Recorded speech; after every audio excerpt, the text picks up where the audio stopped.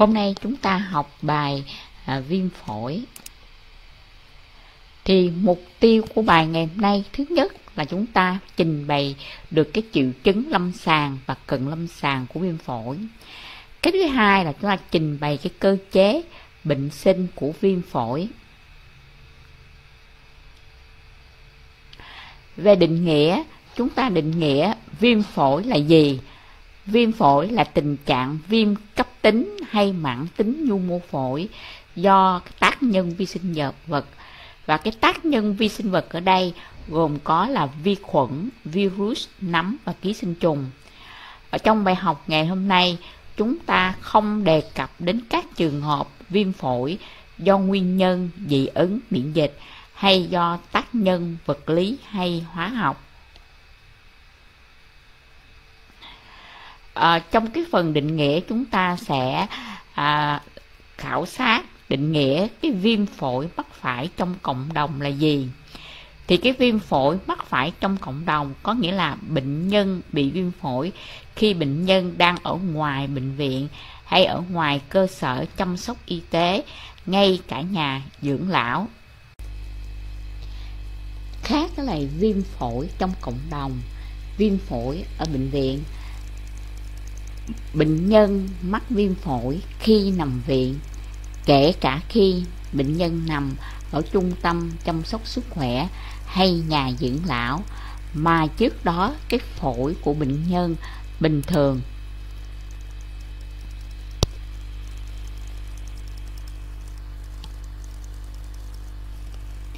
Về dịch tễ thì bệnh à, xảy ra ở những người già trẻ em suy dinh dưỡng à, những người có những người mà cơ địa có các cái bệnh mãn tính những người bị giảm miễn dịch à, hoặc những người có các cái bệnh phụ trước đó như là viêm phế quản mãn, giãn phế quản, hen phế quản.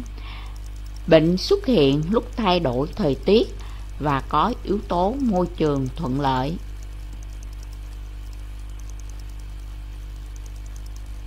Hàng năm tại Mỹ có khoảng từ 2 đến 3 triệu trường hợp, trong đó có khoảng 20% các bệnh nhân phải nhập viện.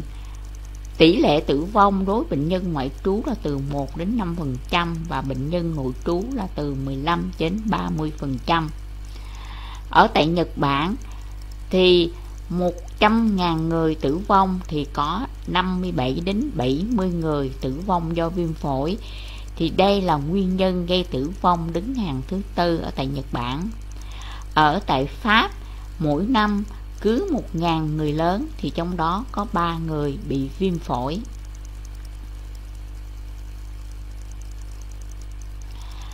Ở Việt Nam thì cái tỷ lệ viêm phổi cấp chiếm tỷ lệ 16 đến 25% các cái bệnh phổi không do lao.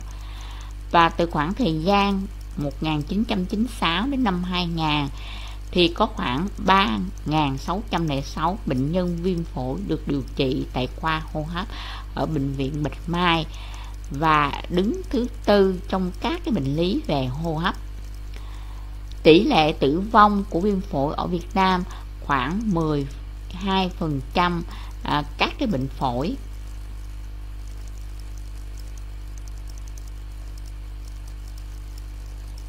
Về nguyên nhân thì thứ nhất à, do vi khuẩn chiếm 40% gồm có Streptococcus pneumoniae bao gồm là các phế cầu kháng thuốc Haemophilus influenzae, Moraxella catarrhalis, Legionella pneumophila, Mycoplasma pneumoniae. Ngoài ra còn có các vi khuẩn khác như liên cầu, tụ cầu vàng, Klebsiella pneumoniae, Pseudomonas aeruginosa, các cái vi khuẩn kỵ khí khác như là Fusobacterium hoặc là các vi khuẩn răm âm, thương hàn, dịch hạch.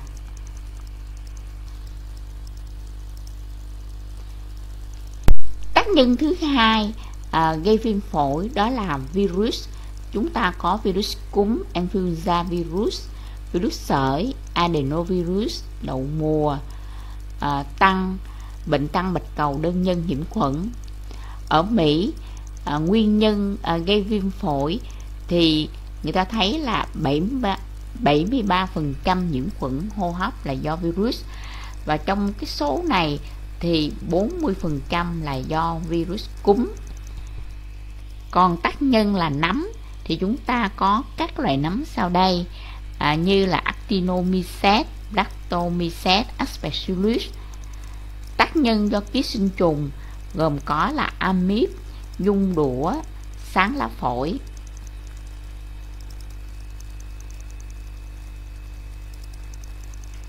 Về hóa chất thì chúng ta có xăng, dầu, axit, dịch dạ dày.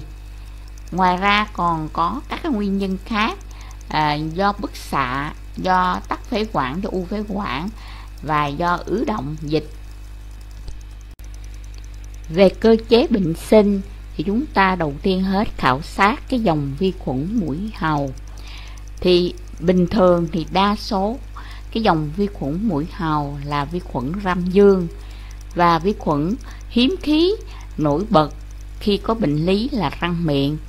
Nhưng nếu chúng ta nằm viện thì sau 72 ngày 72 giờ nằm viện thì cái dòng dòng vi khuẩn chủ yếu lại là vi khuẩn răm âm cái thứ hai chúng ta khảo sát cái cơ chế đề kháng của đường hô hấp. Thì đây chúng ta có cái phản xạ đóng nắp thanh quản khi nuốt hoặc là hít chất tiết. À, cái thứ hai chúng ta sẽ có cái phản xạ ho để đẩy cái dịch ra khỏi khí phế quản. Và từ cái à, thanh quản cho đến tiểu phế quản tận cùng thì chúng ta sẽ có một cái lớp nhầy và lông tơ thì cái tác dụng của cái lớp nhầy và lông tơ này để giúp các cái vật lạ nó bám vào và nó sẽ đẩy các chất lạ ra ngoài bằng cái phản xạ à, ho.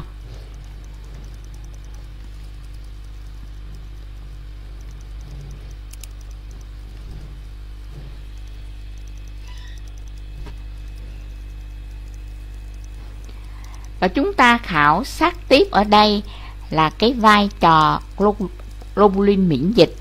Thì người ta thấy là cái globulin miễn dịch có tác à, dụng là bảo vệ đường hô hấp. IgA ở đường hô hấp trên thì có nồng độ cao, tác dụng của nó là chống lại vi khuẩn.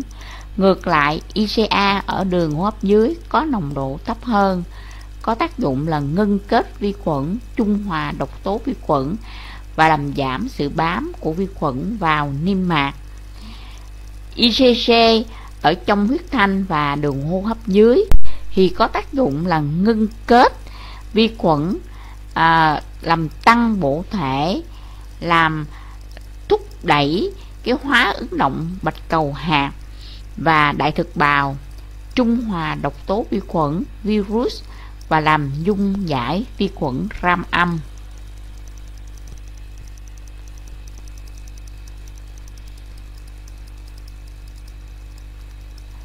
Trong phế nang có nhiều đại thực bào ăn vi khuẩn, bạch cầu đa nhân trung tính giết vi khuẩn. Bạch cầu lympho giữ vai trò quan trọng trong miễn dịch tế bào chống lại vi khuẩn.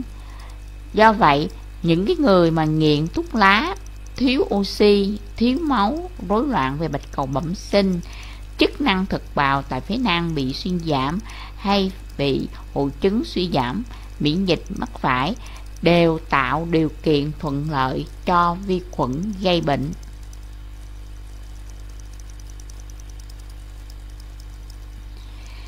Chúng ta sẽ khảo sát đường vào và điều kiện thuận lợi để gây à, viêm phổi. Thì chúng ta thấy là cái tác nhân gây bệnh vào phổi thường là qua cái đường thở, khi có sự rối loạn hoạt động của lớp chuỗi lông có sự ức chế đại thực bào, phế nang hoặc là tăng tiết nhầy, thì đây là cái điều kiện thuận lợi để vi khuẩn dễ xâm nhập vào phổi. Thì nhiễm trùng được tạo thuận lợi do hít các cái chất có chứa các cái vi khuẩn, các cái dịch dạ dày, dị vật. Virus ức chế khả năng diệt khuẩn của đại thực bào và làm cho cái rối loạn miễn dịch tế bào. Do đó, thường thường là cái viêm phổi là thường đi sau là cái nhiễm trùng về virus. À, hít chất khí gây tổn thương cấp tính cái cơ chế đề kháng của phổi. À, một cái điều kiện thuận lợi nữa là cái hít lâu dài không khí khô và bệnh nhân có cái đặt nội khí quản hay là mở khí quản.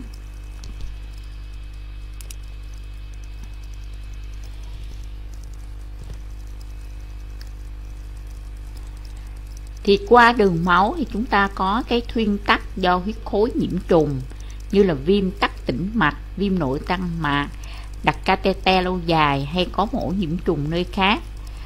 Và chúng ta cũng thấy là cái vai trò cơ địa là rất là quan trọng ở những người mà nghiện rượu, những người hút thuốc lá, những người suy dưỡng hoặc là giảm khả năng miễn dịch và các cái bệnh mãn tính ở phổi thì rất dễ dàng là bị viêm phổi. Bây giờ chúng ta sang cái phần mà giải phẫu bệnh. Thì giải phẫu bệnh ở đây chúng ta sẽ học cái đầu tiên hết là cái viêm phổi thùy. Thì cái viêm phổi thùy là gì? Là cái tổn thương viêm phổi. Nó có thể là ở một phân thùy, một thùy hay nhiều thùy, hoặc có khi ở cả hai bên phổi. Và thường gặp nhất là cái thùy dưới phổi phải. Thì theo sự mô tả của ông Lanet thì là có bốn giai đoạn. Giai đoạn đầu tiên chúng ta có cái giai đoạn sung huyết, là cái vùng phổi thương tổn bị sung huyết nặng. Các cái mau mạch nó giãn ra, hồng cầu, bạch cầu và fibrin sẽ thoát vào lòng phế nang và trong dịch này sẽ có chứa nhiều vi khuẩn. Cái giai đoạn gan hóa đỏ là từ 1 cho đến 3 ngày. Cái tổ chức phổi bị thương tổn có màu đỏ sẫm, chắc như gan và trong tổ chức này có thể là có xuất huyết. Cái giai đoạn 3 là giai đoạn gan hóa xám là cái thương tổn phổi nó có màu nâu xám chứa hồng cầu bạch cầu à, vi khuẩn và cái tổ chức hoại tử. Và cái giai đoạn à, lui bệnh là trong lòng phế nang còn ít dịch loãng và có một ít bạch cầu. Về giải phẫu đại thể thì đây chúng ta à, nhìn đây là một cái lá phổi và chúng ta thấy có cái vùng màu à, màu đỏ và chúng ta thấy có một cái vùng màu nó xám. Thì cái vùng mà đỏ đó là cái giai đoạn gan à, hóa đỏ là cái tổn thương nó có màu đỏ sẫm. Và khi mà à, chúng ta sờ vào thì nó chắc như là gan. Và cái màu xám đó là ở giai đoạn quan hóa xám. Cái màu nâu xám này nhắc lại là cái chứa hồng cầu, bạch cầu, vi khuẩn và các cái tổ chức hoại tử. Và đây cũng là một cái lá phổi bị viêm và hoại tử.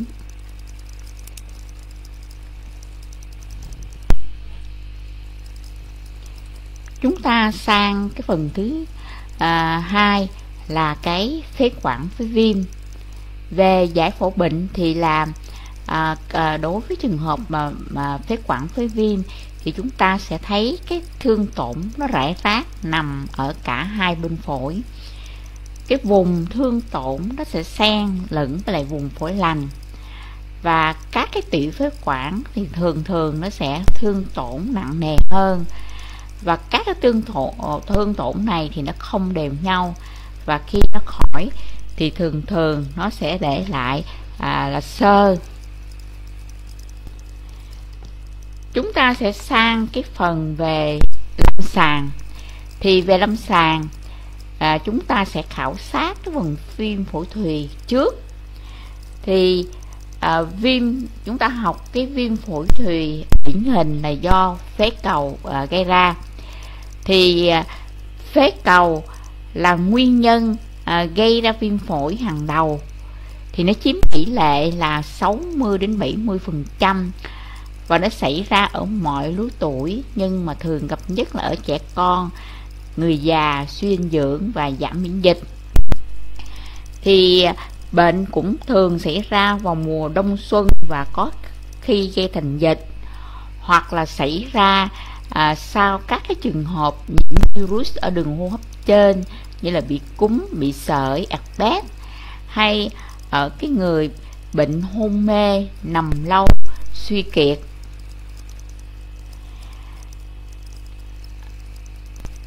Về cái giai đoạn khởi phát của bệnh thì thường thường cái khởi đầu bao giờ cũng là đột ngột với lại cái sốt cao dao động trong ngày. Bệnh nhân có tình trạng là rét run đau tức ngực khó thở nhẹ mạch thì nhanh ho khan toàn trạng là mệt mỏi à, gây sút trắng ăn và cái môi miệng nó có herpes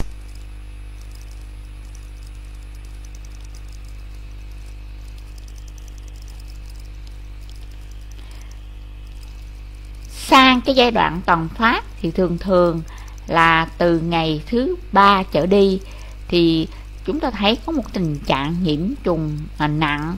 Đó là bệnh nhân sẽ sốt cao liên tục à, mệt mỏi gầy sút biến ăn khát nước và cái đau ngực nó sẽ tăng lên và cái khó thở sẽ nặng hơn. Bệnh nhân sẽ ho nhiều và một cái đặc điểm là cái đàm đặc nó có màu dĩ sắc hay là có máu. Và trong cái giai đoạn này bệnh nhân đi tiểu ít và nước tiểu ờ, thì sậm màu.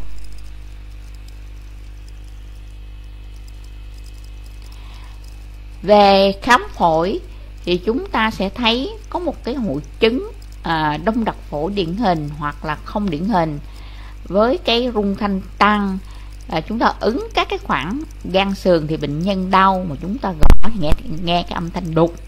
Nghe âm tế bào giảm có âm thổi ống và ra nổ khô xung quanh cái vùng đông đặc. Mà nếu cái thương tổn nó nhiều á thì sẽ có cái dấu là suy hô hấp cấp. À, bệnh nhân sẽ có gan lớn và đau và có khi có vàng da và xuất huyết dưới da. Ở trẻ em thì sẽ có một cái rối loạn tiêu hóa như là buồn nôn nôn bụng chướng.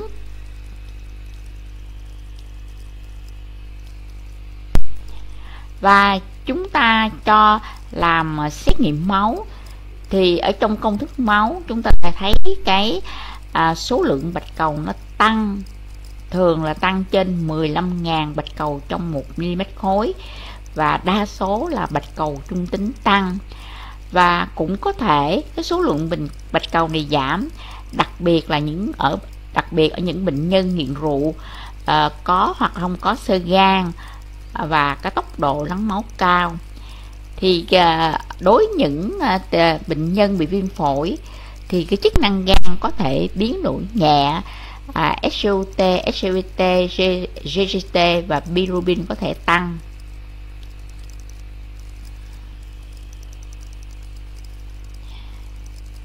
À, chúng ta à, soi tươi và cấy cái mẫu đàm thì chúng ta có thể tìm thấy phế cầu.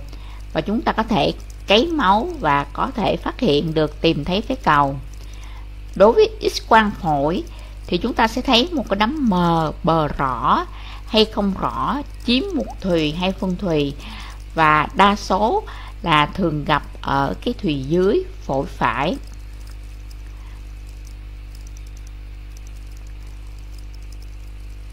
Và đây chúng ta sẽ có cái hình à, viêm phổi thùy hình ảnh x quang thì chúng ta sẽ thấy là ở phổi ở bên phải.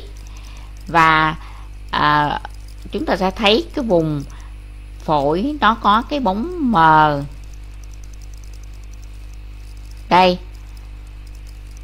Thì đây là cái viêm phổi thùy nó nằm gói gọn trong cái phần mà à, thùy à, thùy à, thùy giữa và thùy dưới và bên ta, bên này các anh chị sẽ thấy là cái viêm phổi thùy chụp của cái hình phim phổi nghiêng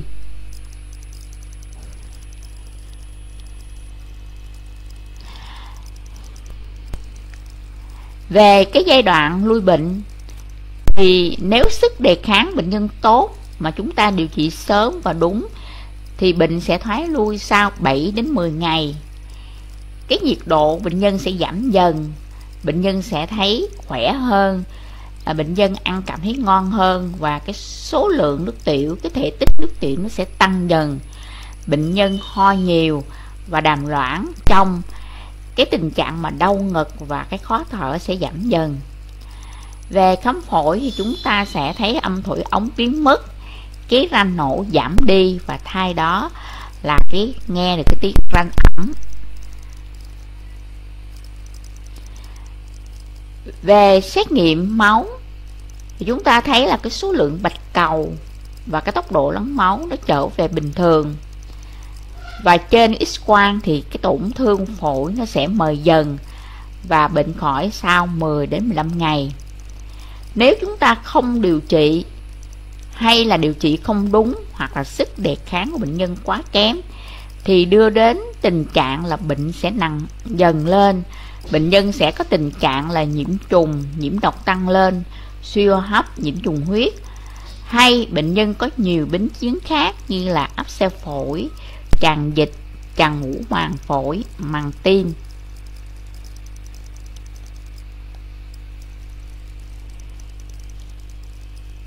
Chúng ta sang cái bệnh cảnh lâm sàng của một cái trường hợp mà thứ hai đó là cái phế quản, phế viêm thì đối với lại phế quản, phế viêm, thì bệnh thường xảy ra ở trẻ em và người già, người suy kiệt, hôn mê hoặc là sau các cái nhiễm virus làm suy yếu miễn dịch hay là bệnh nhân có một cái bệnh mãn tính. Thì khác với lại cái viêm phổi thùy thì phế quản, phế viêm thì cái bệnh khởi phát sẽ là từ từ bệnh nhân có tình trạng là sốt tăng dần và khó thở càng lúc càng tăng dẫn đến cái tình trạng là suy hấp cấp. Và toàn à, toàn trạng sẽ biểu hiện một cái tình trạng là nhiễm trùng nhiễm động cấp và nặng. Bệnh nhân có thể lơ mơ mê sản về khám phổi chúng ta sẽ nghe được cái ranh nổ ranh ẩm ranh phế quản à, rải rác ở cả hai bên phổi và lan tỏa rất là nhanh đây là một cái bệnh cảnh lâm sàng vừa có cái tổn thương phổi vừa có cái tổn thương phế quản à, lan tỏa.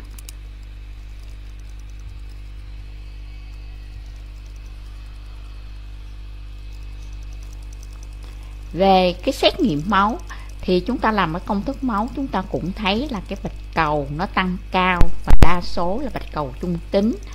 Cái tốc độ lắng máu cũng tăng về phim phổi thì chúng ta sẽ thấy nhiều cái đấm mờ rải rác ở cả hai bên phổi và nó đã tiến triển theo từng ngày. Và trong trường hợp nếu à, không điều trị hoặc là điều trị chậm thì bệnh nhân sẽ có tình trạng là suy hấp nặng nhiễm trùng toàn trạng suy sụp và bệnh nhân có thể là có tử vong.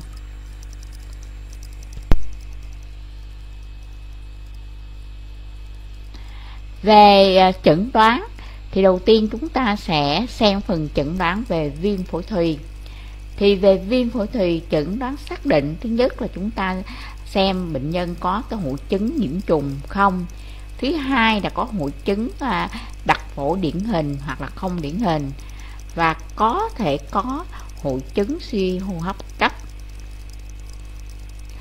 Một cái triệu chứng rất quan trọng nữa là chúng ta xem cái lưỡi của bệnh nhân. Chúng ta xem cái lưỡi à, bệnh nhân có đỏ có hồng có sạch và không dơ. Thì trong trường hợp này thì chúng ta gặp à, à, trường hợp mà viêm phổi do vi trùng lao. Còn viêm phổi do vi trùng thường thì chúng ta sẽ thấy cái lưỡi bệnh nhân rất có bợ, bợn có cặn và có cái khuôn mặt là có tình trạng là nhiễm trùng, nhiễm độc.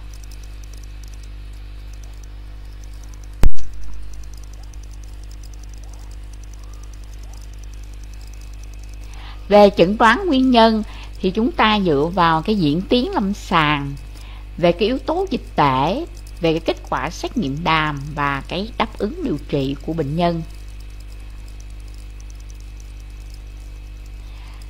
Thì à, chúng ta sẽ có cái chẩn đoán phân biệt cái lại cái phế viêm lao.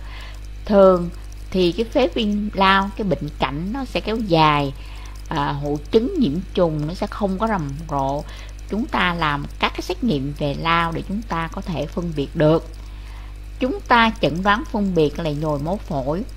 Thì thường những bệnh nhân à, bị nhồi máu phổi thường có cái cơ địa của họ là có cái bệnh tim mạch à, hay nằm lâu họ có những cơn đau ngực dữ dội à, đột ngột à, ho ra máu nhiều và choáng. Chúng ta phân biệt cái trường hợp ung thư phế quản phổi bội nhiễm thì cái thương tổn phổi này lặp đi lặp lại ở một vùng và càng về sau càng nặng dần. Hoặc là chúng ta phân biệt cái áp xe phổi giai đoạn đầu cái viêm màng phổi và cái xẹp phổi.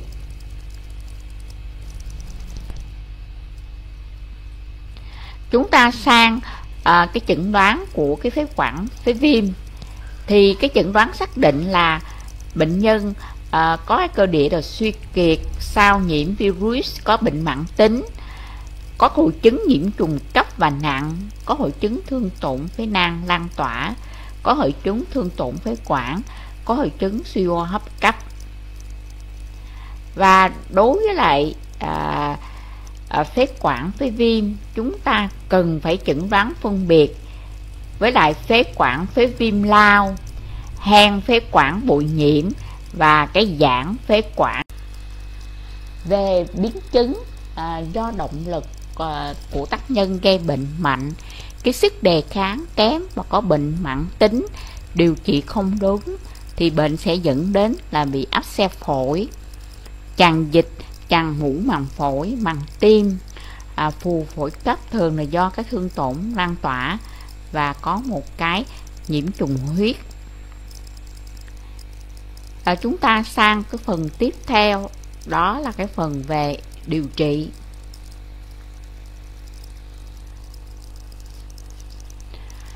Về nguyên tắc điều trị thì chúng ta phải điều trị sớm mạnh đủ liệu trình và theo dõi cái diễn tiến của bệnh.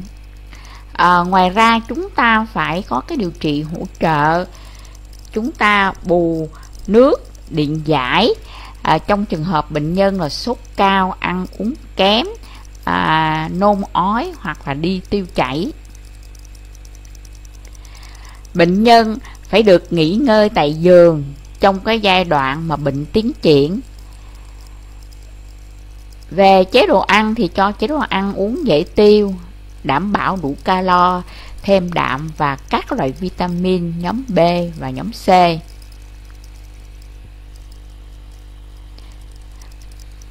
À, về điều trị triệu chứng thì chúng ta sẽ cho bệnh nhân ờ, thuốc hạ sốt tác dụng giảm đau.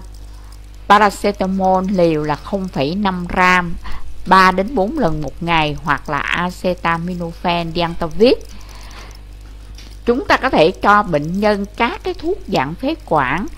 Trong trường hợp bệnh nhân có cái co thắt phế quản thì chúng ta có thể cho thêm cái theophylline, cái liều là từ 100 cho đến 200 mg ngày 3 lần. Và chúng ta cho bệnh nhân các loại thuốc ho và lông đàm.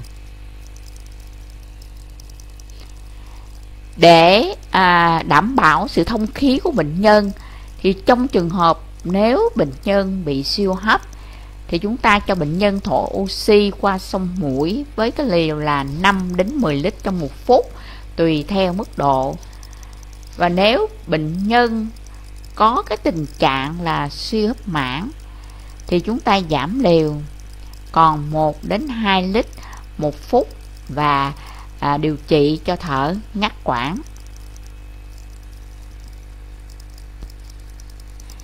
Về điều trị nguyên nhân thì chúng ta sẽ giải quyết nguyên nhân gây bệnh là chúng ta sẽ cho bệnh nhân à, dùng thuốc kháng sinh. Thì kháng sinh chúng ta phải cho bệnh nhân dùng sớm đúng loại đủ liều và dựa vào cái à, kháng sinh đồ. Thì trong trường hợp mà chưa có kháng sinh đồ thì chúng ta sẽ dựa vào cái yếu tố dịch tễ là bệnh nhân bị viêm phổi trong bệnh viện hay ngoài bệnh viện. Chúng ta theo dõi cái diễn tiến à, lâm sàng bệnh nhân. Bệnh nhân là khởi bệnh là từ từ hay là đột ngột. Rồi kết hợp với kinh nghiệm người thầy thuốc cái tình trạng à, cái thể trạng của bệnh nhân. Và cuối cùng chúng ta theo dõi cái đáp ứng điều trị để chúng ta có cái biện pháp mà xử trí kịp thời. Về phòng bệnh thì viêm phổi là một trong những cái bệnh nhiễm trùng đường hô hấp à, dưới rất là phổ biến. Thì để đề phòng giảm biến chứng mặc dù hiện nay chúng ta có nhiều loại kháng sinh mới nhưng chúng ta để làm giảm cái tỷ lệ biến chứng và à, tử vong thì chúng ta cần phải có những cái biện pháp à, phòng bệnh như là nâng cao thể trạng giữ ấm trong mùa lạnh loại bỏ những cái yếu tố thuận lợi như môi trường không trong sạch à, hút thuốc lá không hút thuốc lá. Chúng ta sẽ điều trị sớm tận gốc các cái nhiễm trùng ở đường hô hấp trên, các cái đợt cấp của bệnh phổi mãn tính. Chúng ta phải theo dõi sát cái giai đoạn sớm của nhiễm trùng đường hô hấp và tránh lây lan.